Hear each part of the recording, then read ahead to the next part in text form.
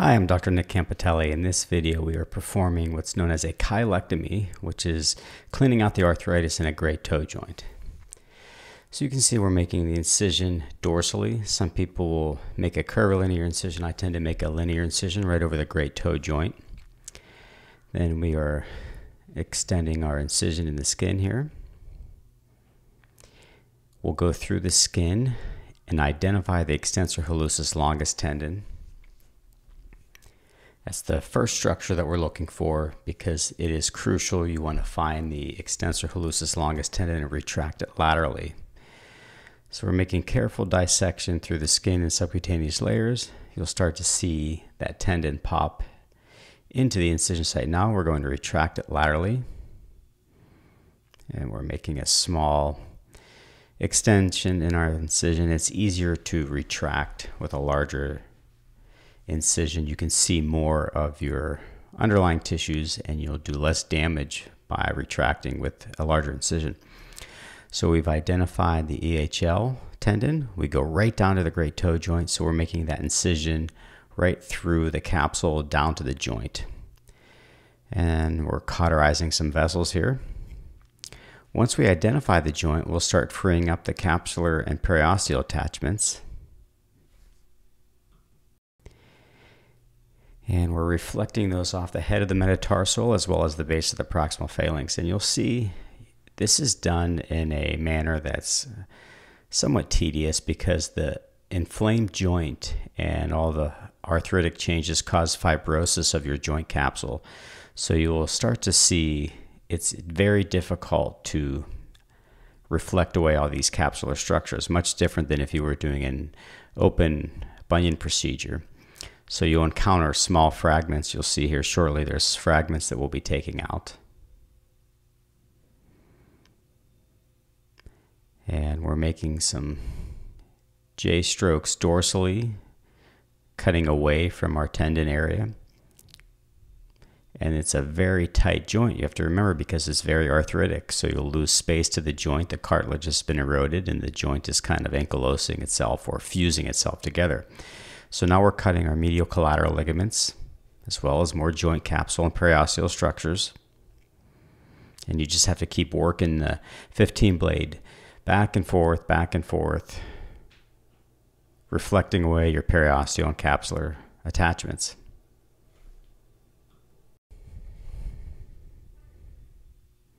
And once we're in the joint, we'll keep making what we call J strokes around the head of the metatarsal, working upward you're always cutting away from your skin. You don't want to cut toward the skin.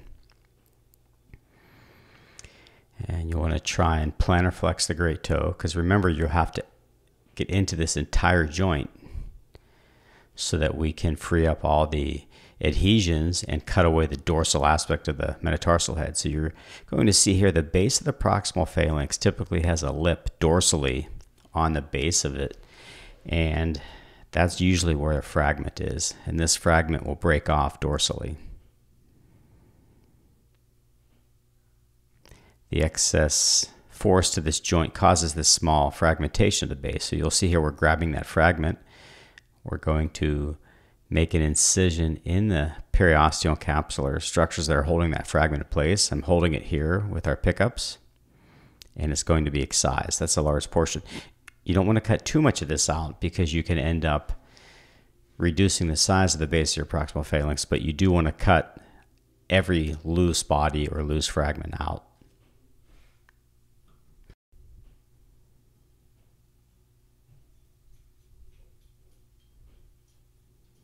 This is a rather large fragment.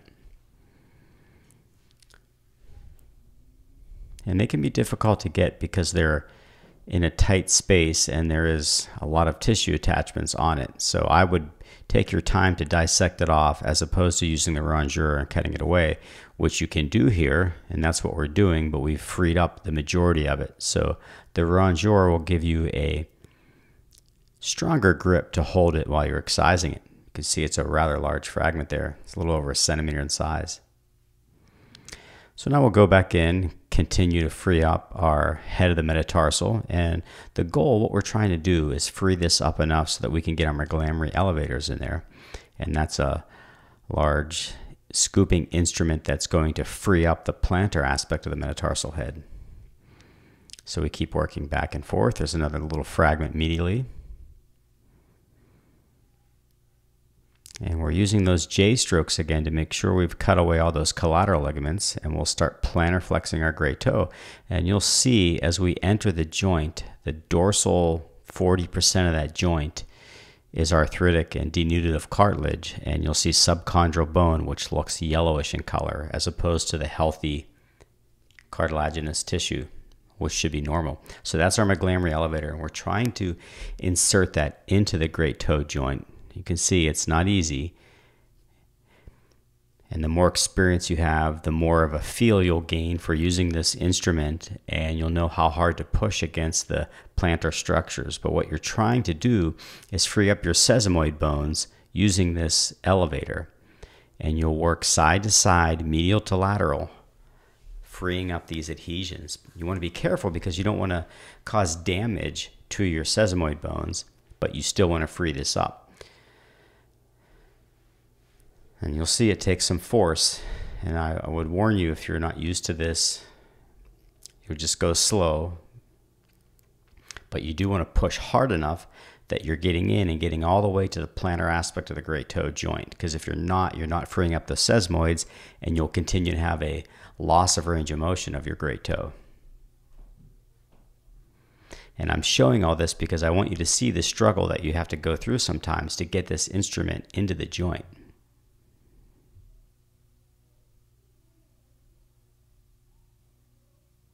So you see, once we get in, then we'll go medial and lateral, working back and forth, and you'll feel those soft tissues give.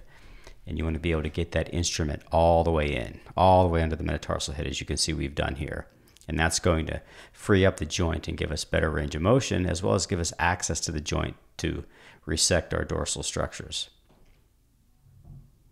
So you'll see here the yellow is your subchondral bone, and you can see all the cartilaginous defect that's present to the head of the metatarsal. And we're going to take off roughly 50% of that dorsal or superior aspect of the metatarsal. So now we're using our sagittal saw, and we'll have our assistant retract all of our structures. Again, making sure our extensor hallucis longus tendon is out of the way, and we're cutting away a large majority, I always say at least 40% of that dorsal aspect of the metatarsal head.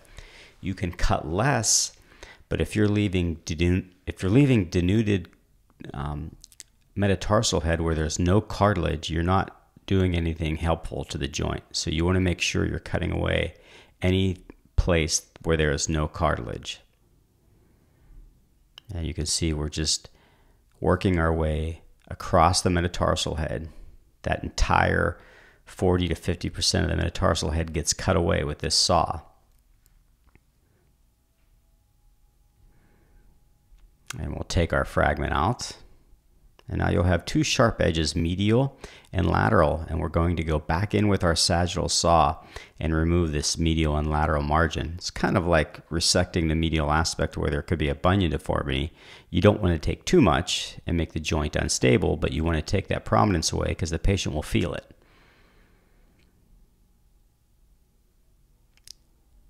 So we're just working away across the medial eminence of that metatarsal head, that fragment gets excised. And now you're going to see another sharp edge that we'll have to smooth out. Sometimes there's some fragments that are connected into the joint capsule, so we can use a rongeur to get those out. And now we'll use our rotary burr to file away any of those remaining sharp edges. And again, we're just working back and forth across the head of the metatarsal, trying to round it off or make it smooth. And I always say if you run your finger over this and you feel sharp edges, then it's likely that the patient is going to do this and they'll feel it as well.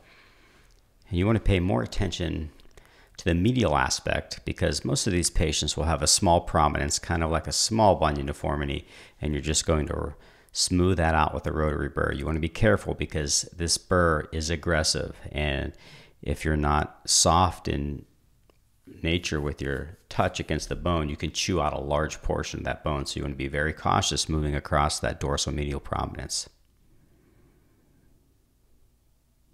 And then we'll do the same thing here laterally, taking off that prominence. And it's kind of a common sense approach. You're just making sure there's no sharp margins and you're rounding the metatarsal head. And as I said, I'm taking at least 40% of that dorsal margin. I'm very aggressive with how much I take off dorsally because I've had this fail in the past. The, the more you take, the more motion the patient will get.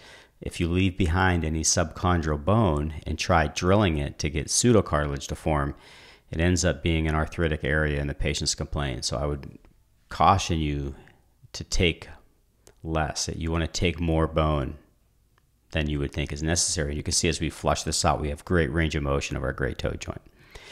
We'll dry off that dorsal aspect of the cancellous bone and we're going to put bone wax over that cancellous bone and this is used to reduce any bleeding that could cause fibrosis of that joint capsule. And then it's time to repair our capsular structures. And if you've done adequate dissection, you will see our extensor hallucis longus tendon will have the capsule just inferior to it. And we don't want to make this capsule too tight because remember, we're trying to achieve an increase in range of motion. If we tighten this up, we're going to restrict the motion. And early on, you're going to have a tendency to want to grab more tissue with your needle as you're suturing just because it's easier, but you don't want to do this. You want to take small bites but you want to allow for some redundant capsule that's there because you did cut away a large portion of bone. And you can see here we're grabbing some synovitis. This is some inflammatory joint capsule, and we're going to excise that because we don't want that in the joint. It could cause some inflammatory changes as well. So that gets excised out. And you can see it's just a more inflammatory, stringy like red or erythematous tissue as opposed to normal joint capsule, which is white or yellowish in color. And we're going back in, closing it up. And you might want to check your range of motion as you're suturing because, again, you don't want this to be too tight. Sometimes we'll have our assistant hold the suture for us as we're closing. We call that following and they'll apply a tension. It's just easier to close. And we'll tie off our last portion of the capsule, holding that toe straight. I just find it necessary to do that and it kind of keeps the capsule tight as opposed to letting the toe uh, loose because you could sometimes make it over tight. Now we're closing our subcutaneous layer. This is 4-0 Vicryl. I usually run this. The previous capsule was closed with 3-0 Vicryl. You can see our assistant is following here, applying tension as we're closing that.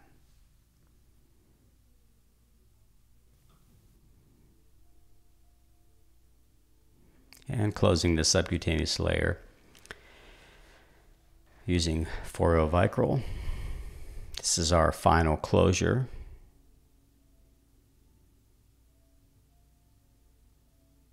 It's a subcuticular stitch. Sometimes I will close this with 4 nylon and let the patient get more active range of motion early on. It's all surgeon preference. This particular case, we used a 4 Vicryl for our subcutaneous stitch, and then we went over this with a 4 monocryl for a subcuticular closure. And you can see our range of motion here postoperatively is sufficient compared to our preoperative much better range of motion. As always, thanks for watching. If you have any questions or comments, please leave them in the comments section below. And if there are any videos you'd like to see in the future, you can leave that in the comments section below as well. And feel free to click on any of the videos in our YouTube channel. There's a ton of surgical videos posted. Thanks for watching.